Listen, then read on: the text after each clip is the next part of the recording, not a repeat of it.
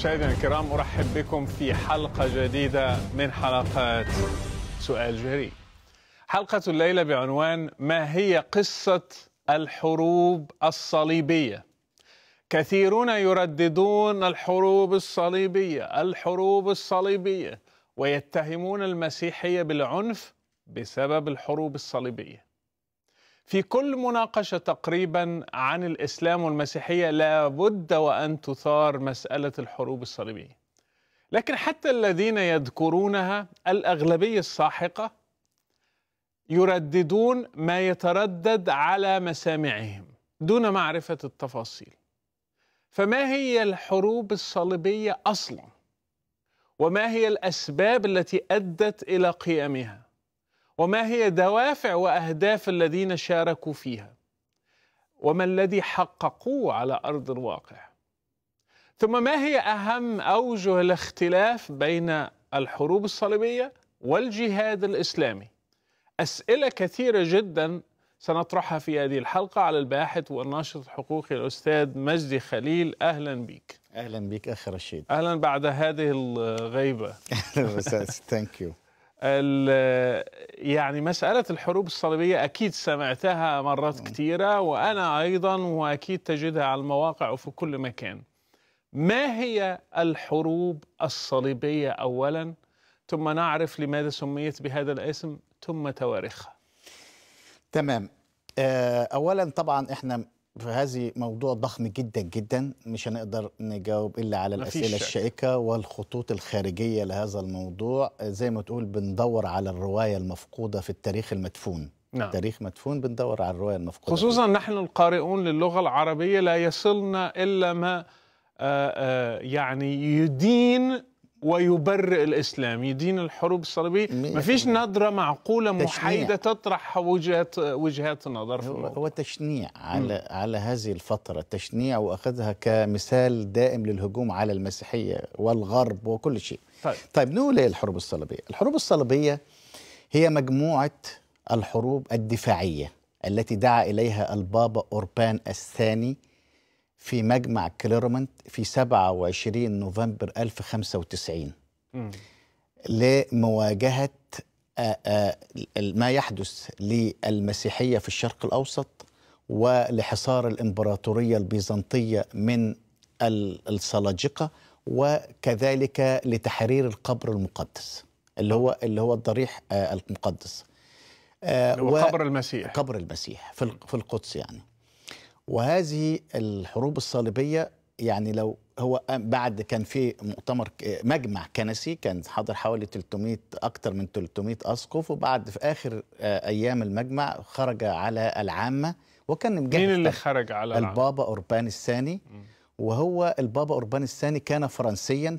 فتحدث إلى الفرنسيين باللغة الفرنسية وليس باللغة اللاتينية. م. كما إنه كان كولونيا جاي من الرهبنه الكولونية. والرهبنه الكولونية هي التي قادت النضال ضد العرب في أسبانيا ضد المسلمين في أسبانيا. فهو هذا شخص مناسب لهذا الموضوع وقد أعد له إعدادا جيدا.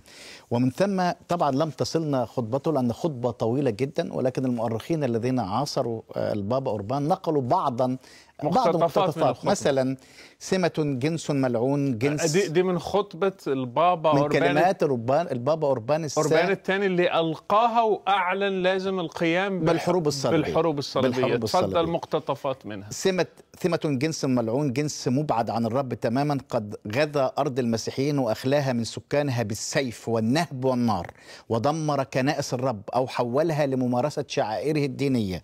إنهم يدمرون الهياكل بعد أن نجسوها بقذارتهم وماذا أقول عن اغتساب النساء اغتصاب النساء الشنيع الذي يقومون به دي أجزاء بتكلم عن مين؟ عن المسلمين تحديدا مم. المسلمين و... و... والأتراك يعني الأتراك بالتحديد بالتحديد آه بالتحديد آه. مم. وبالتالي آه بدأت هذه الحروب الصليبية منذ ذلك الوقت ولكن الحروب الصليبية في هذه الفترة بقى المؤرخين العرب بيأرخوا الفترة اللي هي من سنة 1095 لحد 1291 وهي سقوط عكا وانتهاء الحملات الصليبية في الشرق. إذا حوالي 200 سنة. حوالي 200 سنة 193 سنة. من 1095 إلى تم إعلان الحرب. وبدأت على طول. وبدأت على طول لحد 1000 1291 آه. واحد. لكن الحروب الصليبية صليبية كروسيد بدأت قبل كده وانتهى وبعد واستمرت بعد كده ممكن. نقول إرهاسات أو أو أو حروب. مقدمات مقدمات الحروب مقدمات ضد الحروب. المسلمين آه. ما هي ضد المسلمين طب إيه اللي كانت قبل يعني كده؟ كان ال- البابوات آه، دعم إلى الحرب الصليبية في آه، آه، في شبه جزيرة البلقان كانت ماسكينها الأندلس مم. وقبل ما تبدأ الحروب الصليبية سنة 1095 بدأت الحروب الصليبية رسميا 1085 سقطت أول مدينة كبيرة آه، هي طليطلة اللي هي توليدو. كانت في إيد المسلمين. كانت في إيد المسلمين وبدأ بعد ذلك آه، يعني تكملة وفي إسبانيا كانت حرب الاسترداد اللي يسموها.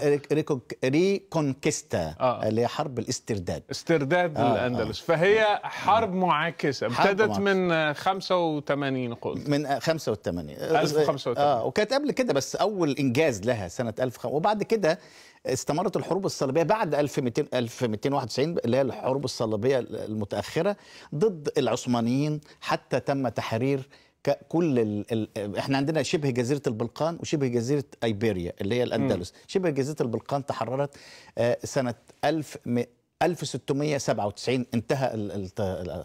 آه، خلينا ليه ال... آه، ليه سموها حروب صليبية؟ أيوه.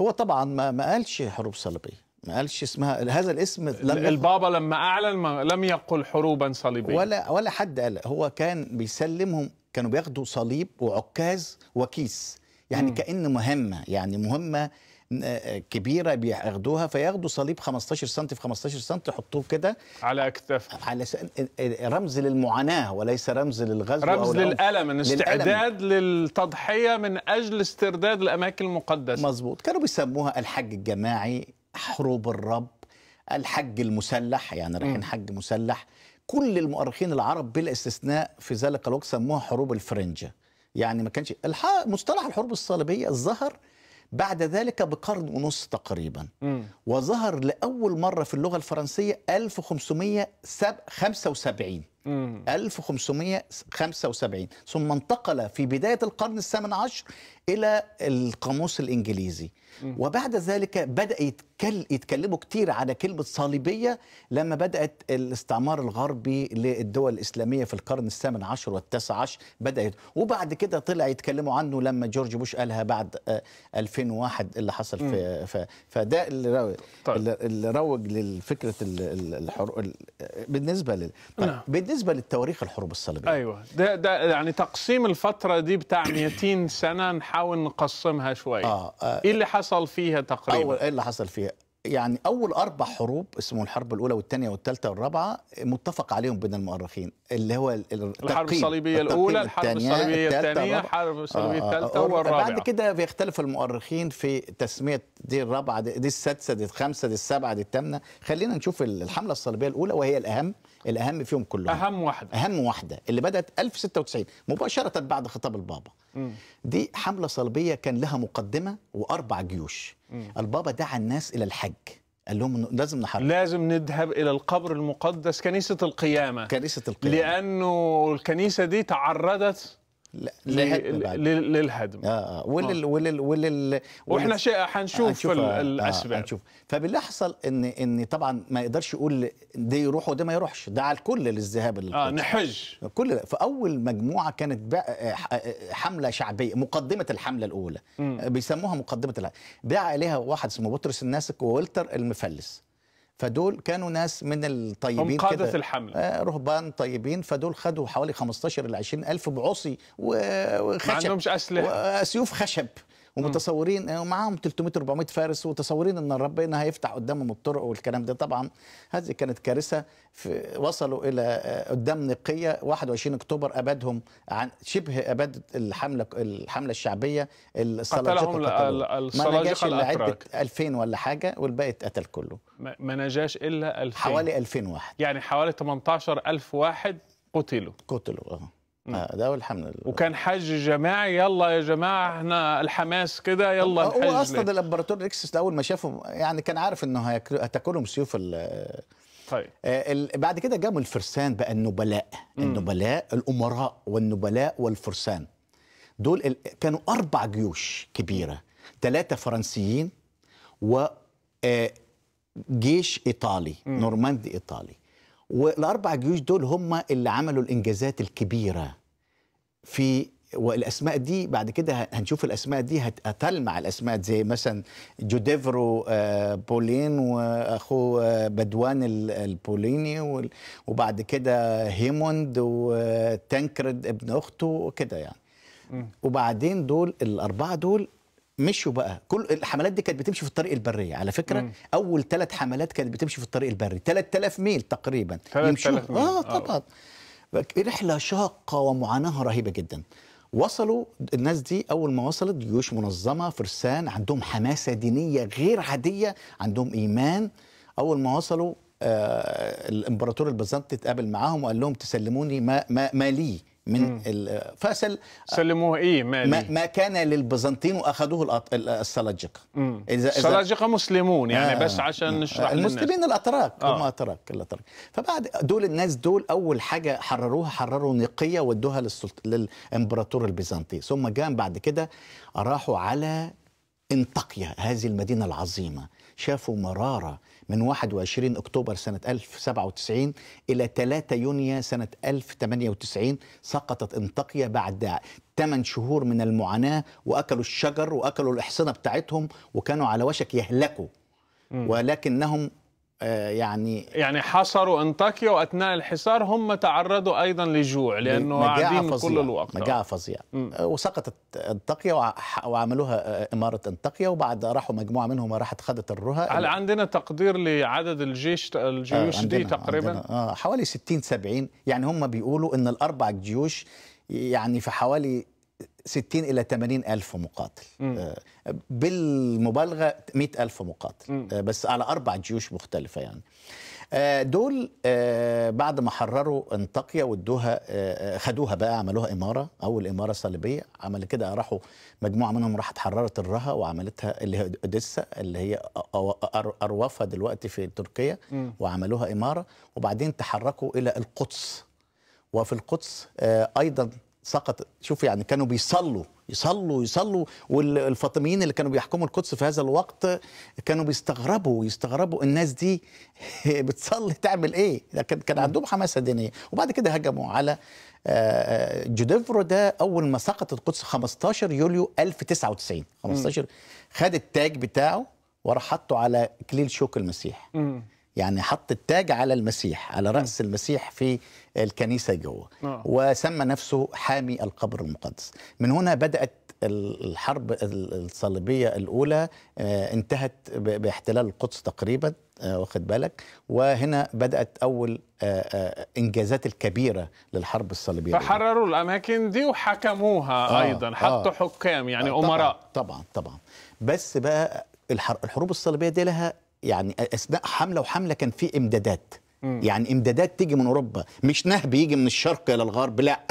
ده طول ال 200 سنة كانت تيجي الإمدادات من أوروبا إلى الشرق. مم. مش من الشرق إلى الغرب. ما نهبوش حاجة ودوها للغرب. طيب. واخد بالك؟ الحملة الصليبية الثانية إحنا خلصنا الأولى دلوقتي, دلوقتي الأولى. انتهت بتحرير القدس من الهيمنة الإسلامية كانوا الفاطميين ماسكينها وقتها وقبلهم كانوا الفاطميين كانوا مسكوها سنة سنة واحدة سنة. 1098 خدوها آه. 1098 من السلاجقه كان قبلهم السلاجقه. الأتراك مسلمون أيضا طبعا طبعا طبعا وال والفاطميون كانوا آه، هدموا ال ال ال- السلاجقه ه- ه- ده هتجيب تاريخ هدم القدس ده تاريخ طويل لكن طيب. اللي بيحصل كالآتي إن يعني الفاطميين طلعوا كل المسيحيين قبل ما يدخلوا ال- ال- الصليبيين. ما فيش مسيحيين شرقيين كانوا موجودين في القدس. طلعوهم.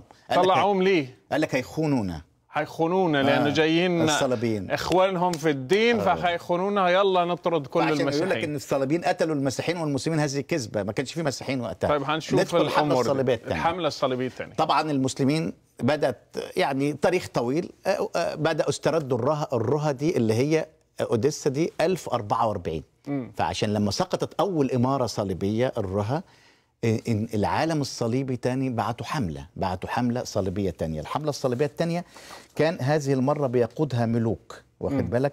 كونرد الثالث بتاع ألمانيا وملك فرنسا لويس السابع. مم. كونرد الثالث ولويس السابع. وللأسف الشديد البيزنطيين قبل ما يجوا عملوا آه، اتفاقية مع السلاجقة هناك فيعني شبه تقهقر جيش كونرد الثالث وفي الآخر اتجمعوا عند آه، القدس. بدل ما يروحوا لآل زنكي اللي هم أسقطوا الرها 1044 1144 راحوا اتجهوا لحليف للصليبيين اسمه معين الدين أنر كان حاكم دمشق. وبالتالي هذه الحملة فشلت. فشلت تماما يعني لأسباب- باختصار يعني. لأسباب البيزنطيين وأسباب خلافات شخصية. فشلت هذه الحملة. جت بقى الحملة ال- الشهيرة الثالثه اللي حصلت آه، حملة الثالثه اللي هي 1990 1900 1992 ليه بقى الثالثه كل حملة لها سبب 900 1000 1190 1190 1190 1192 ماشي. ليه حصلت؟ لأن 1187 كانت حصلت موقعة حسطين واستعاد صلاح الدين القدس 1187 في أكتوبر 87 فكل الأولانية جت عشان الثانية حملة جت عشان الرها سقوط الرها ودي جت عشان سقوط القدس طبعا يعني اخذوا القدس كم سنه كانت في ايدين الصليبيين فضلت من 1099 ل 1187 93 سنة 93 سنة فاستردها المسلمون عن طريق صلاح الدين حطين آه مع عن طريق حطين آه آه آه، فلما استرجعوها المسلمين جاءت الحملة الصليبية آه الثالثة. وكان ال كان ال الأبابات تصالحوا مع الملوك. في الأول كانوا حارمين الملوك أوروبا فتصالحوا معاهم فجت حملة كبيرة جدا جدا ب- بقيادة ثلاث ملوك كبار جدا. الإمبراطور الألماني آه، فريدريك بارباروسا. وبعدين ال- ال- آه، ال- الملك الفرنسي آه، فيليب أوغست وريتشارد قلب الأسد ملك إنجلترا. للأسف الشديد بارباروسا فهو جاي في الطريق كانوا ماشيين الطريق البري. فغرق في آه، آه، في في النهر. عن- في النهر عند السلوقيه ولأن كان جيشه محمل بقى هيفي اعباء آه، معدات معدات ثقيلة. فغير وهذا الجيش الكبير اللي كان عايل همه صلاح الدين كان خايف منه جدا بارباروسا لأنه أقوى جيش في الثلاثه كان حاجة جيش ضخم جدا جدا. تشتتوا ورجعوا تقريبا أغلبهم إلى وخدوا معاهم الجثمان وفي الآخر خالص دفنوه في انطاكيه جه يبقى في اثنين فيليب اوجست اختلف مع ريتشارد قلب الأسد. بس كان نبيل راح ساب له الجيش بتاعه ورجع على فرنسا وقاد الجيشين اللي هو ريتشارد قلب الأسد. هذا كان مقاتلا قويا شجاعا ماهرا حذقا. قاد الجيوش وعمل انتصارات كبيرة على صلاح الدين في أرسوف وخد بقى كل الساحل تقريبا تاني. وكان آه، صلاح الدين كان يقول لهم دمروا كل حاجة يافا حيفا أرسوف صلاح الدين كان بيقول كده. آه دمروا أي مدينة قبل ما يدخل عليها ال... آه قبل ما تخرجوا يعني يا آه، مسلمين يا قبل مسلمين ما تخرجوا. تسيبوا لهم المدن مخربة لريتشارد قلب الأسد لأن كان شايف إن ريتشارد قلب الأسد مكتسح وداخل على القدس. فكان بيدمر كل مدينة قبل ما يدخل ريتشارد قلب الأسد. لكن ريتشارد قلب الأسد آه، يعني كان يعني كان متقدم جدا لحد ما خد آه، حقق انتصارات كبيرة على صلاح الدين وكانت جات له أنباء إنه لازم يرجع لبلده عشان ال- حكمه هناك. فعمل اتفاق صلح اسمه الرميله مع صلاح الدين في سنة 92 إنه سمحوا للصليبيين ياخدوا الساحل. وسمح للحجاج المسيحيين يروحوا القدس ولكن تفضل القدس تحت إيد الحكم الإسلامي. الحكم الإسلامي. نعم. دي ال ال الحرب الصليبية الثالثة. آه آه، الحرب الصليبية الرابعة يعني يأسفني إن الحرب الصليبية الرابعة كانوا كانوا اكتشفوا في أوروبا إن مفتاح م- مفتاح كله في مصر. وكانوا عملوا محاولات قبل كده مع مصر وفشلت. فقالوا عم نعمل حملة صليبية رابعة تروح على مصر. مم. وهذه كانت فكرة صحيحة وصائبة تماما لأن اللي حاربوهم جم من مصر. وبالتالي جهزوا حملة كبيرة.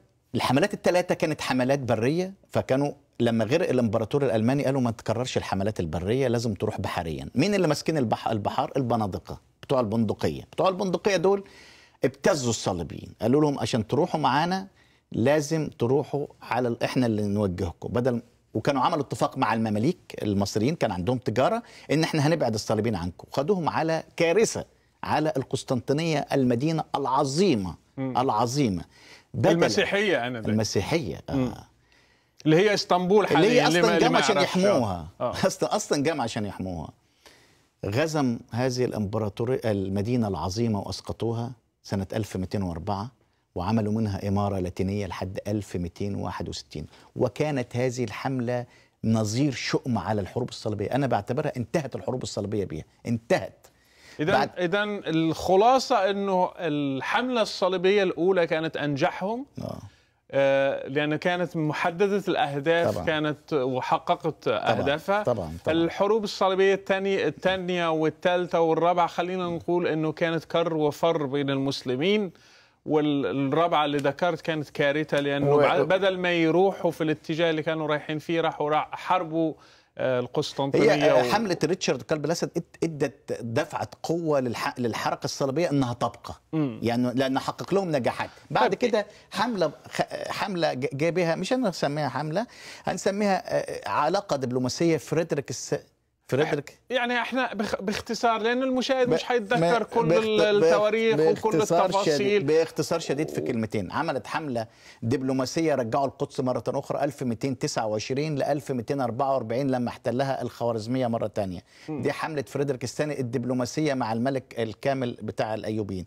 رجعوها كمان. رجعوها لكن ما فضلتش عندهم كتير لا أيضاً. لا ما فضلتش عندهم كتير. من ألف من يعني حوالي من 1229 ل 1200 ل 1244 وبعدين جت حملة أخيرة الملك لويس التاسع القديس كان راجل عنده حماسة دينية كبيرة فحب يروح مصر ففشل في مصر مرض الطاعون ضرب الناس بتوعه في في أمام المنصورة والفيضان النيل فرجع هذا الملك آه، في سنة فشلت حملته على مصر وكان برضه كان عاوز يعوض ما الخسارة اللي حصلت في حمل ال... ال... ال... الانحراف اللي حصل في حمل الرابعة. لكن فشل في مصر وبعدين رجع فرنسا ورجع على تونس 1270 ومات في تونس وهو يقول أورشليم أورشليم. هذه باختصار الحملات الصليبية.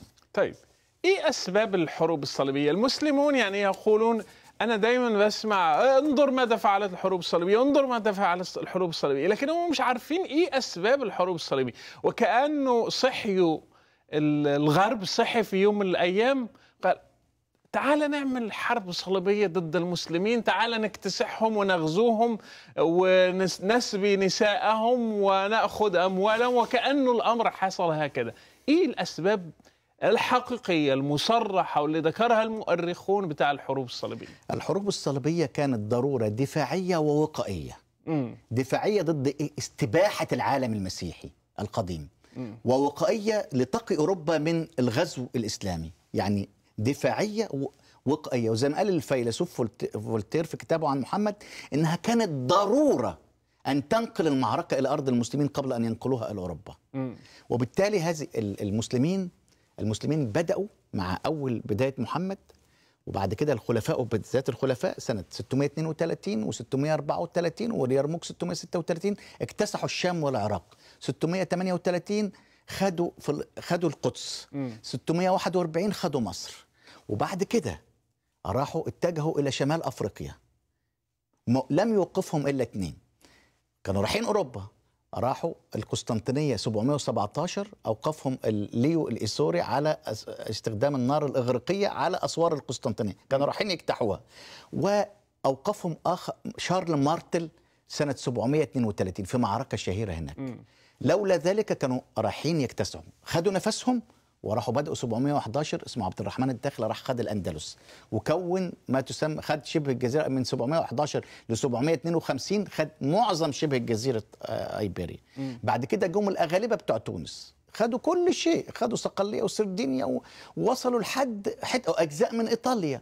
وخد وصلوا لحد كنيسة القديس بطرس في, في قلب الفاتيكان. ما كانش اسمه الفاتيكان في روما. كانوا عاوزين ياخدوها هجموا عليها. وهؤلاء الناس دول الأغالبة. دي, الم... دي الحاجات دي لا تدرس لنا. يعني إنه مش إنه اكتسحوا كل شيء في أوروبا وخلاص لازم العالم الغربي ينتفض. ده خدوا بعدين إيه بقى؟ دول موجة الأغالبة. جت موجة الصجل السلاجقة الأتراك 1071 عملوا معركة فظيعة فظيعة ولها تفاصيل فظيعة اسمها مانزكارد أو ملازكارد. 1071 ومن 1071 ل 1081 سقطت الأناضول كلها وانطاكيا والرادس كله ده خدوه خدوا شيء ما بقتش إلا القسطنطينية تقريبا. يعني اكتسحوا في إيه. ثلثي العالم المسيحي القديم است... استباحها المسلمون بالسيف. ثلثي العالم المسيحي القديم. وكانوا داخلين على أوروبا. عشان كده الإمبراطور اليكسوس ال- ال- الأول اللي هو إمبراطور بيزنطي عمل حاجتين. أول حاجة سنة 1081 بعت رسالة للبابا كان جريجوري قال له شوف هقول لك لو ما جيتوش جايين لكم إحنا كنا حائط صد إحنا القسطنطينية حائط الفاصل بيننا وبينكم وبندافع معارككم عن الإسلام أدي الناس قرون. دلوقتي القسطنطينية على وشك تقع إحنا على وشكنا لو ما جيتوش أنتوا هيجي لكم المسلمين. وكان في م... في مجمع كنسي اسمه آه، ماكنزا قبل المجمع كليرمونت فبعت وفد في مارس 1095 وفد كنسي للبابا أوربان وقال له تعال أرجوك تعالوا. قبلهم ب 20 سنة الأرمن بعتوا وفد وقابل بابا روما قال لهم أرجوكوا تعالوا. يعني دي بناء جام بناء على طلبة. اولا إن المسلمين اكتسحوا ثلثي العالم المسيحي ثلثي العالم المسيحي. ثانيا بناء على طلب أصحاب الأرض. نعم. أصحاب يعني في شرعية قانونية. ولذلك سميت حتى الحروب الصليبية سماها بعض الكتاب سموها ال- الجهاد المعاكس. الجهاد الم... أو أنا بسميها counter جهاد يعني مواجهة الجهاد. يعني هي مش جهاد معاكس عشان ما يبقاش لها علاقة بالجهاد. هي counter جهاد يعني مواجهة الجهاد. مم. انت بتواجه الجهاد بتاع المسلمين. ودي أول محاولة في تاريخ المسيحية صد الجهاد. لصد الجهاد. أول محاولة لصد الجهاد. واخد بالك؟ تاني سبب خطير هدم كنيسة القيامة. مين اللي هدمها؟ الحاكم بأمر الله. سنة 1009 1010 طبعا حصلت محاولات ه- هذكرها 1000 1000 1009 1010 1010 قعدوا سنة كاملة يهدوا فيها لأن كانت بناء آه، بيزنطي كبير عمله قسطنطين الكبير. سووها بالأرض. سقفها ارضا وطولها عرضا. كده يعني سووها بالأرض. كانت كارثة في العالم الغربي. وطبعا كنيسة القيامة معروف أهميتها عند المسيحيين. في ذلك الوقت. وحتى الآن. آه طبعا بس في من ذلك الوقت. مقدسات المسيحيين. بس- طب تخيل أنا بس عشان أوصل الصورة للمشاهد. نعم. تخيل إنه حد الآن يروح لمكة نعم. ولقبر محمد نعم. ويسويهم بالأرض. نعم.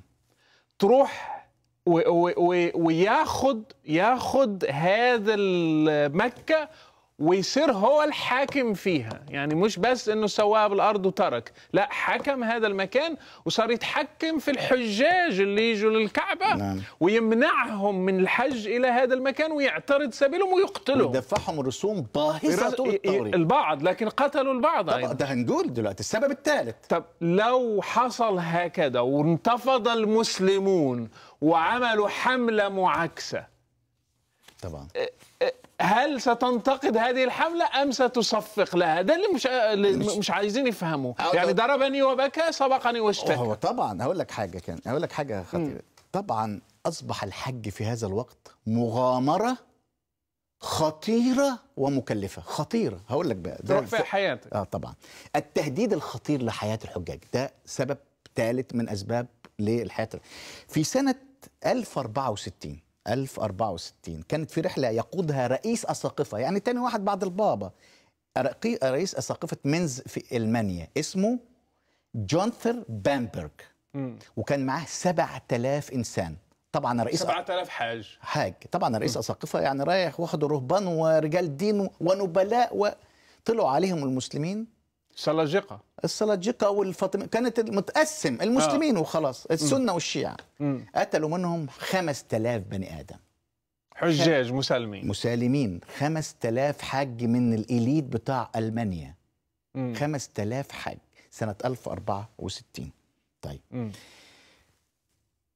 بعد مع- كده معلومات لا يعرفها الأغلبية حين يرددون الحروب الصليبية، الحروب آه، الصليبية، الحروب أوريك- أوريك الصليبية. لما جيت سنة حتى بعد ما استولى الصليبيون على القدس سنة ألف إحنا قلنا 1099 م. 1119 كانوا الحجاج إيه؟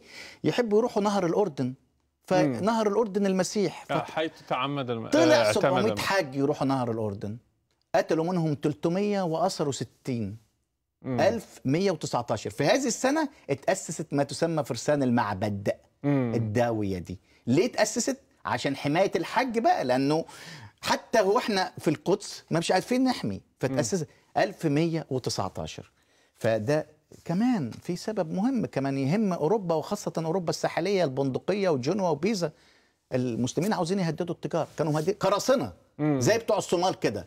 المسلمين في الوقت ده كانوا مسيطرين على البحر المتوسط تقريبا وبدأوا يهددوا التجارة تماما تماما تماما وعلى فكرة تهديد التجارة بواسطه المسلمين ده استمر من أيام صحيح. من, القرن السابع وبعد كده العثمانيين حبوا يهددوا التجارة وقامت معركة شهيرة شهيرة جدا آه، انتصروا فيها الغربيين اتجمعوا كلهم آه، معركة ضد ال- ال- ال- العثمانيين وكذلك لو انت قريت الكتاب اللي الجواب اللي عامله كريستوف كولومبوس لل- للأوروبيين قال لهم إحنا لازم نبعد نبعد عن أمة محمد أنتوا باعتيني أعداء المسيح أمة محمد. اللي هو لد- لدرجة إن هبقى أقرأ لك ال- الجواب ده لاحقا وهتشوف قد إيه إن كان تهديد التجارة ده حاجة خطيرة. طبعا. فاسكو دياما اللي هو اكتشف طريق رأس الرجال ال- ال- المماليك المسلمين حبوا يطردوه يقتلوه في البحر هرب منهم.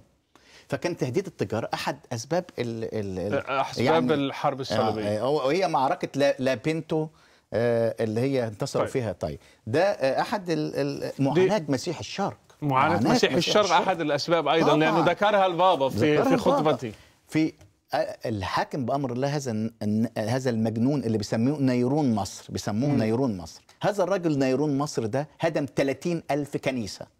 30 ألف كنيسة. ألف. في مصر والشام وفلسطين اللي هي القدس يعني. كل كنائس القدس اللي بنتها القديسة هيلانا هدمها. كنيسة ال ال ال مش بس كنيسة القيامة لا ده كنيسة التجلي وكنيسة مدفن السيدة العذراء اللي هو مكان وأماكن كتيرة جدا. وكل هذه الكن والناصرة والميلاد وكل ده هدم كل ده. هذا الرجل الحاكم بأمر الله. الحاكم بأمر الله. وكانت المعاناة للمسيحيين بطريقة لا ت- لدرجة إن 1078 السلاجقة قبل الفاطميين كانوا استولوا 1078 قتلوا كل مسيحي الشرق. 1078 لما استولوا على القدس 1078 لم يتركوا مسيحا مسيحيا شرقيا واحدا إلا وقتلوه في القدس. في القدس في في القدس. القدس. 1078 يعني قبل 20 كل سكان القدس من المسيحيين قتلوا بالظبط في 1078 1078 من السلاجقة. مم. قبل 20 سنة من الحرب الصليبية. فيعني معاناة مسيح الشرق كانت طب الواحد. يتساءل يعني طب عايزين العالم الغربي يعمل إيه؟ يتفرج؟ ده يعني عاوز أقول لك يعني هي تأخرت كثيرا لظروف أوروبية. طب. تأخرت كثيرا. هل الحروب الصليبية سؤال يرد دائما هل الحروب الصليبية حروب دينية؟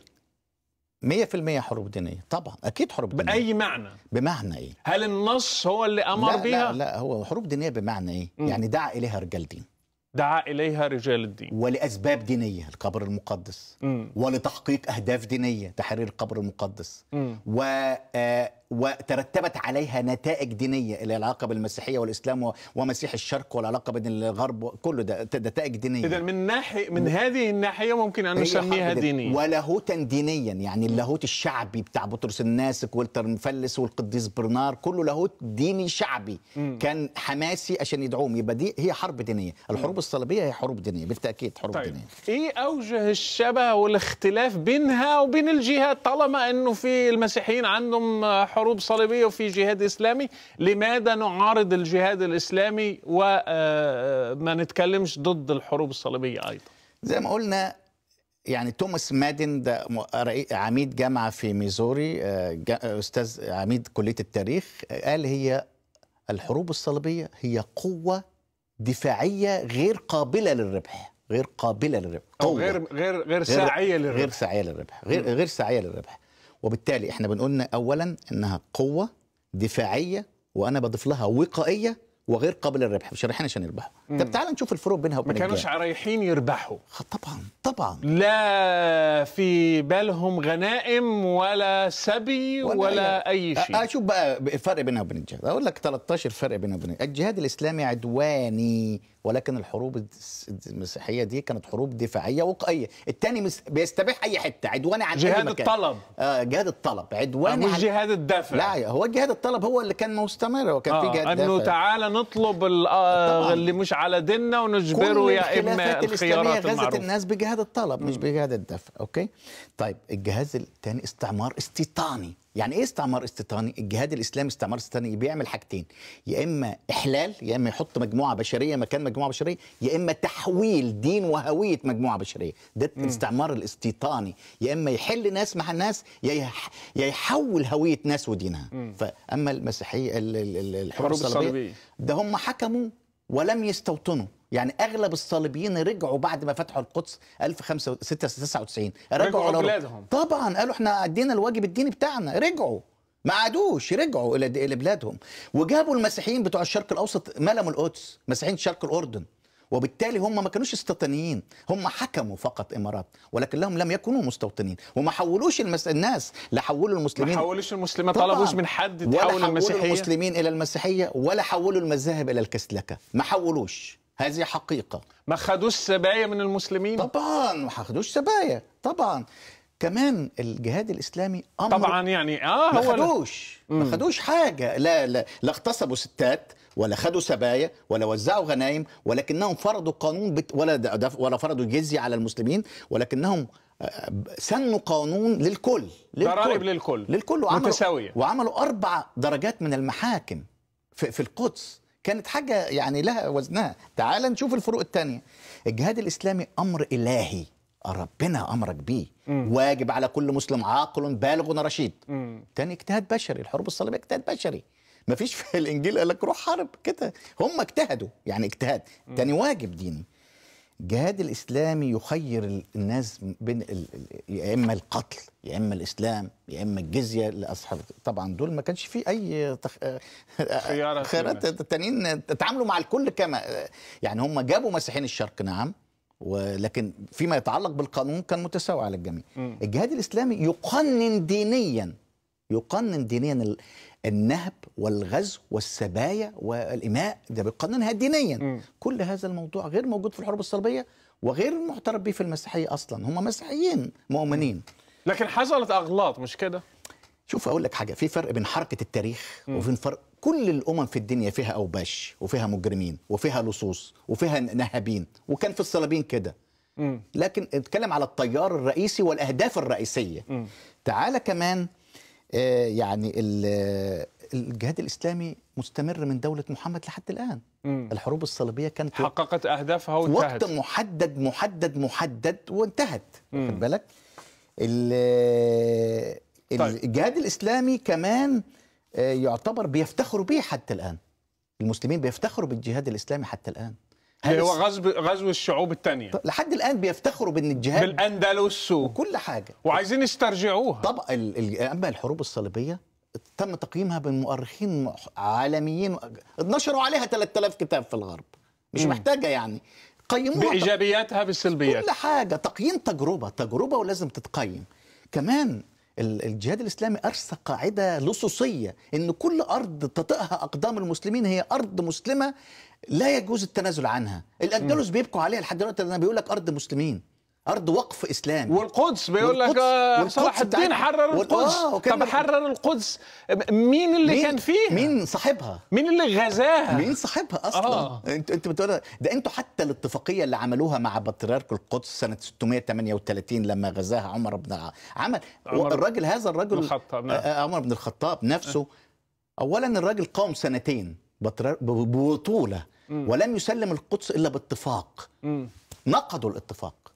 طبعا و- وعملوا العهدة العمرية سيدي. المشهورة. آه، فيعني ما فيش مقارنة تماما. طيب، اولا حتى كمان دولة الجهاد دولة سيقراطية. دولة الصليبين كانت دولة مدنية. رفضوا وصاية الب- آه، مندوب البابا. قالوا له ما عملوش نعملش دولة دينية؟ قالوا له ما نعملش دولة دينية هنعمل دولة مدنية. وكان اسقف الأسقف المرافق لهم مندوب البابا. كان عاوز إن القدس تتبع البابويه قالوا له لا دي دولة إحنا نأسسها تأسيس صحيح. فيعني هل كانت الحروب الصليبية في بعض الكتاب يقولون أنه كانت الشرق الأوسط كان مغري؟ مم. ففي اغراءات ثروات الشرق الأوسط. فراحوا عشان ينهبوا ثروات الشرق الأوسط. أول حاجة عاوز أقولها لك أنا لما قريت حتى تاريخ أوروبا في العصور الوسطى كله في الفترة السنتين اللي فاتوا بتوسع كبير وتاريخ الشرق في هذا الوقت في القرن التاسع والعاشر والحادي عشر الشرق الأوسط على القرن- فكرة إحنا الحلقة دي بنعد لها كم من شهر. آه، يمكن سنة دلوقتي. فالناس فاكرة إنه بتخطر فكرة بنروح. ننفذها. لا، لا. كم كتاب قرأت في الموضوع من يوم ما كلمتك في هذا الموضوع؟ أقول لك حاجة لطيفة. آه. أنا قريت لل- للمؤرخين العرب اللي كانوا في وقت الحروب الصليبية. ابن القلنسي وابن الأثير والاعتبار لأسامة بن منقذ نعم. وابن واصل وابن شداد وابن مقريزي وبعدين ال- ال- ال- المسيحيين كان في مؤرخين مسيحيين سواء من الشرق أو من الغرب آه، ويليام الصوري آه، الشارتري آه، متى الرهاوي كان رئيس دير أرمني نعم. ميخائيل السرياني المؤرخين ال- الغربيين الكبار والغرب الغرب لم ي... مش عشان يفيد نفسه الغرب عشان يفيد نفسه آه. قيم هذه ما التجربة بيكتبوش دفاع عن عن, آه، أي- مثل ما أغلب الكتابات الإسلامية بالعربية يعني عاطفية. بتلاقيها بتلاقيها بتحاول تجمل طبعا. صورة الإسلام وتشوه صورة الآخر ده كل هدفهم من من التأريخ طبعا يعني طبعا آه. ال ال فالغرض النهب. لي أنا أثرت هذه النقطة إنه الموضوع مبحوث من جوانب مختلفة كل الجوانب. وإحنا على فكرة مستمرين في هذه الحلقة والحلقة اللي جاية. مفروض آه، يعني أطلب من المشاهدين إنه على الفيسبوك ابعتوا أسئلتكم حتى نجاوب على كثير من الأسئلة المتعلقة بالحروب الصليبية. لو ما كانش في هذه الحلقة وفي أسئلة تانية ممكن نجاوب عليها في الحلقة القادمة اللي حتكون عن نتائج الحروب الصليبية. تمام. الآن نحن نشرح بس الحروب الصليبية. أه، هل كانت من أجل نهب ثروات الشرق الأوسط؟ اولا الحروب الصليبية أول حاجة كانت التزام نظر نظر على كل صليبي. آه يعني- يقوم بنذر. بينذر وحتى وصل البابا الناس كانت مش متحمسة لكن لأن كان نظر ثقيل انه رايح يموت آه. رايح يموت. يضحي بنفسه. فقال له يعني بدأوا عملوا حاجتين. توريث النذر لو أنت ما قدرتش ورثه لابنك.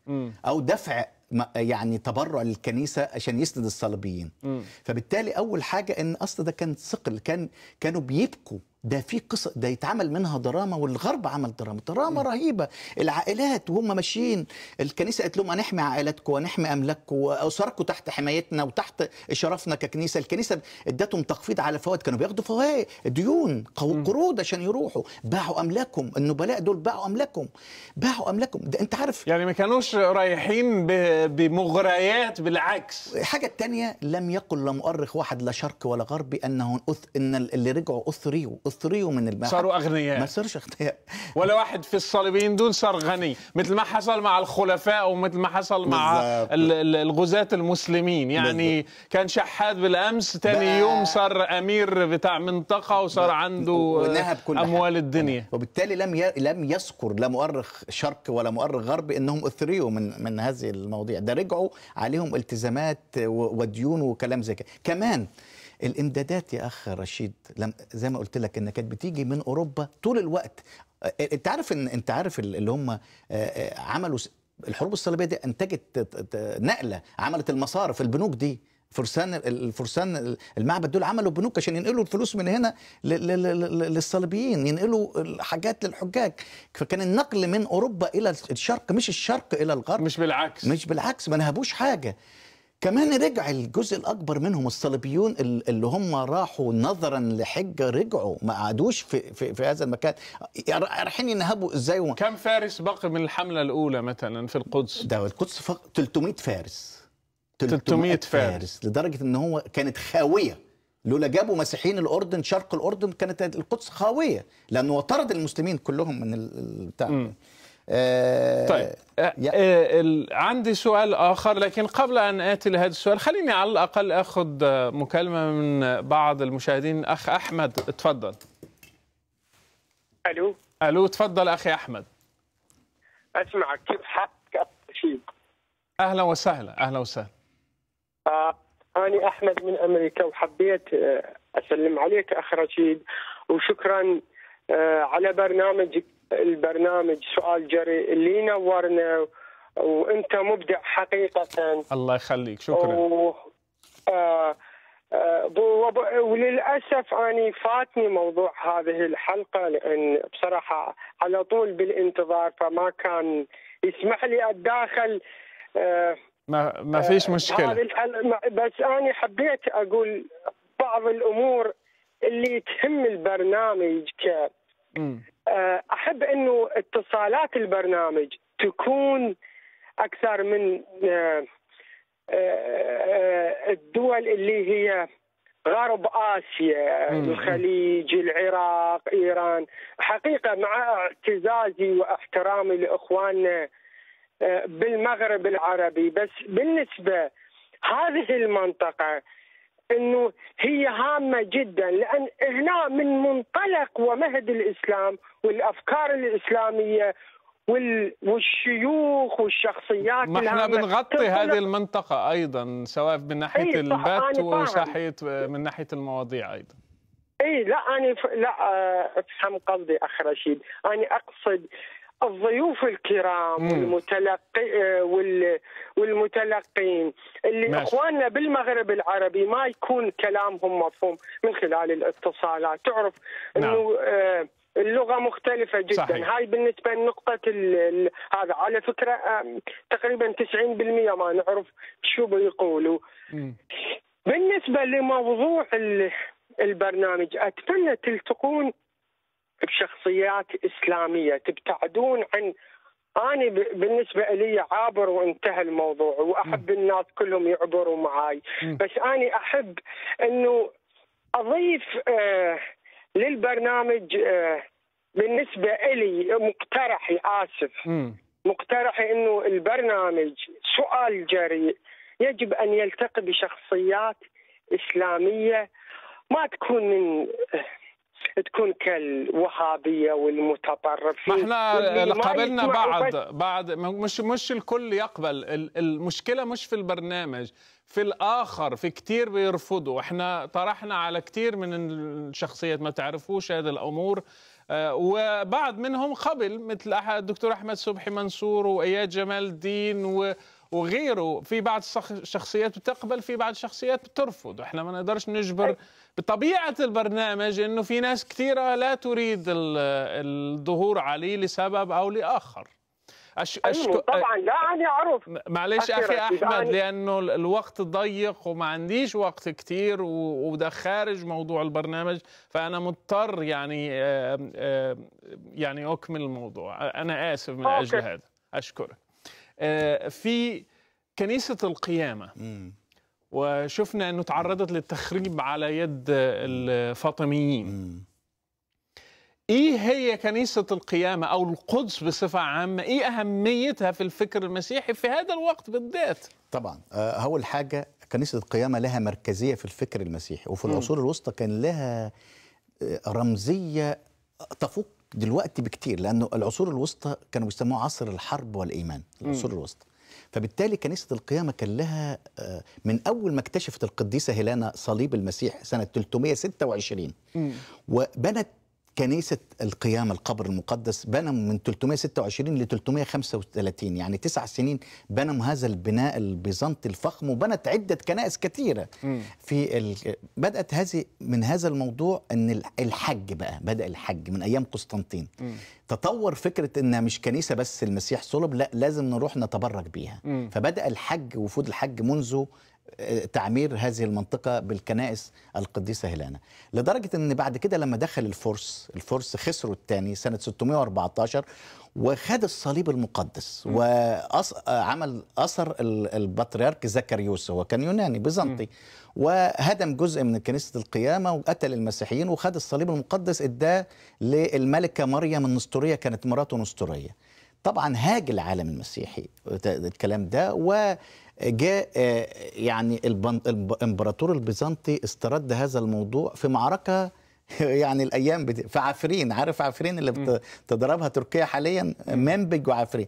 هزم خسروا في عفرين ومنبج واستعاد الصليب المقدس ودخل سنة 30 مارس 630 بالصليب المقدس إلى موضع الجلجسه إلى موضع وده بقى عيد الصليب يرجع الصليب المقدس. فهذا الموضوع له رمزية رهيبة. بعد م. كده لما شارلمان الإمبراطور العظيم شارلمان عمل اتفاقية مع هارون الرشيد ان يسهل الحج هارون الرشيد كان خايف من الأمويين في, الأندا في الأندلس فقال له ما تساعدهمش وحاربهم وأنت وإن نسمح بالحج. وبنى شارلمان فندق.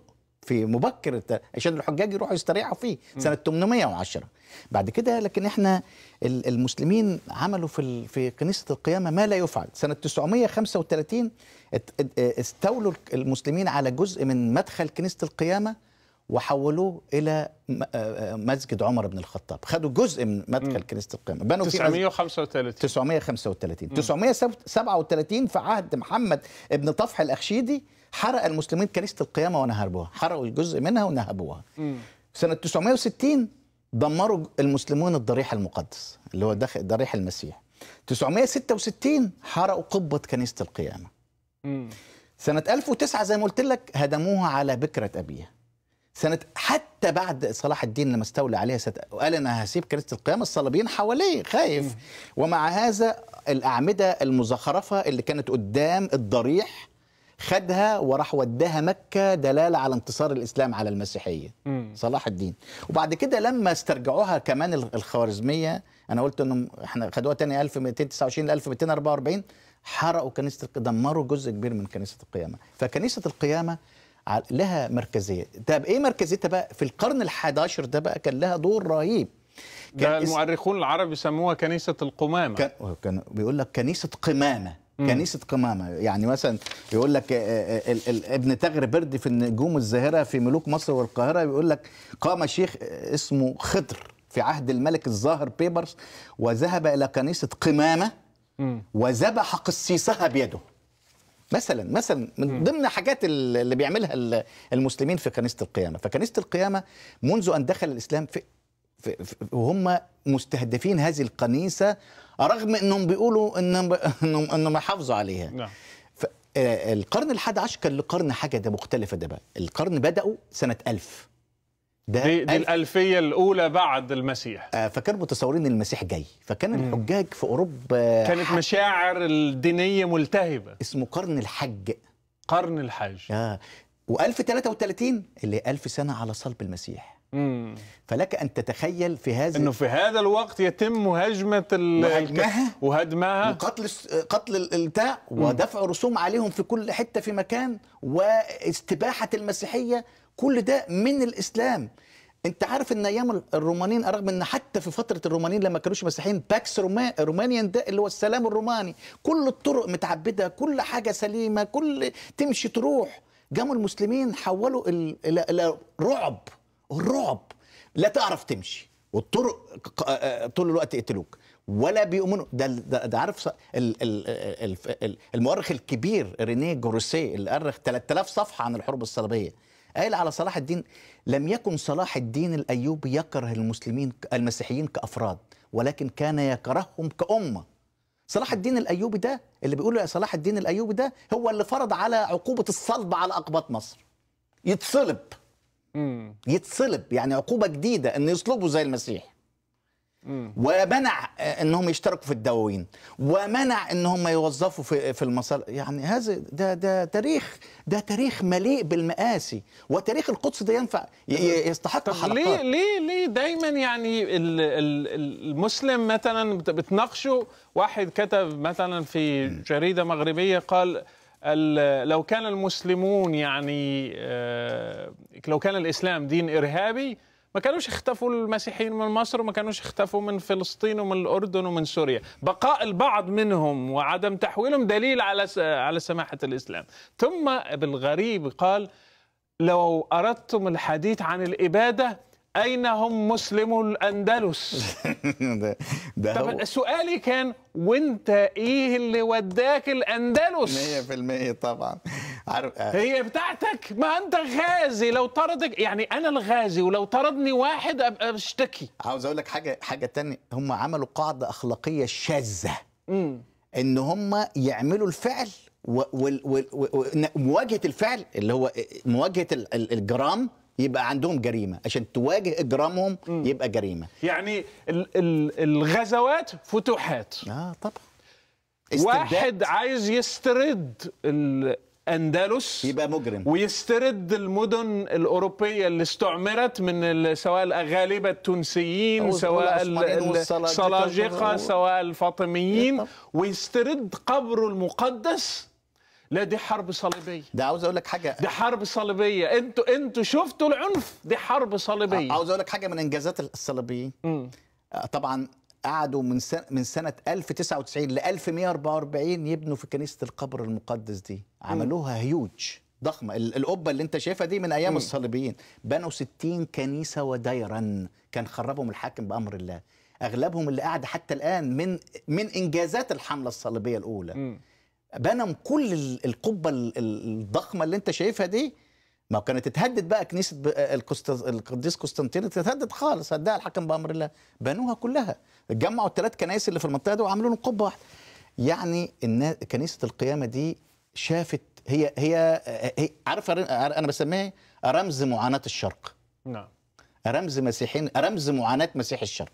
طب لو لو حبيت خلاصة يعني تلخص لي إيه هي الحرب الصليبية الآن؟ يعني دخلنا في تفاصيل وتواريخ وأسباب وكده. لو كباحث الآن قلت لك لخص لي في جملة إيه هي الحرب الصليبية؟ الحرب الصليبية هي مواجهة التوحش الإسلامي أول مواجهة حقيقية من المسيحيين الأوروبيين لمواجهة رد آه كرد فعل على التوحش الإسلامي والاستباحة الإسلامية للمسيحية الشرقية. وهي حرب فهنا دفاعية وهي وقائية لأنها وقت أوروبا من غزو دايركت المسلمين ما عندهمش توقف. كل العالم دار إسلام ودار حرب ده الجهاد الإسلامي دار إسلام ودار حرب فكل العالم مفتوح أمامهم. فكانوا رايحين أوروبا كانوا رايحين أوروبا. وبعد ذلك هي أصبحت الحرب الصليبية كأحد أحد جولات الصراع بين الغرب والإسلام. بدأت بالاسلام مستمر يعني هو في حالة استمرار يعني هو في حالة يعني هو أنت. الغربيين بيواجهوه. يعني مواجهة أول دي مواجهة. وبعد كده قاموا العثمانيين عملوا جولة رهيبة وصلوا إلى أسوار فيينا وبلجراد وخدوا شبه جزيرة البلقان كلها. وبعد كده جت بقى كان تغير الغرب. الغرب تحول إلى الغرب. كان زمان كان في العالم المسيحي والعالم الإسلامي. مم. سقطت كلمة العالم المسيحي بقى اسمها الغرب والحضارة الغربية. ما كانش فيه لا غرب ولا في مصطلح الحضارة الغربية. بعد ذلك بدأت معارك سياسية. لما احتل الغربيون الشرق الأوسط تحت لافتة سياسية. بعد كده جاء ال- ال- ال- ال- المسلمين عملوا حرب الإرهاب الدولي. وحاجتين على فكرة. هي أنا بسميها حاجتين. الإسلامية الدولية والإرهاب الدولي. مم. الإسلامية الدولية لها ثلاث حج- في مواجهة الغرب. أولا بيستخدموا الديمقراطية. وبيستخدموا الأسلمة وبيستخدموا التكاثر السكاني. ف- فهناك حربا إسلامية على العالم حاليا. الأدوات الناعمة والأدوات الترعيب. الخشنة. آه. آه. ف- طيب.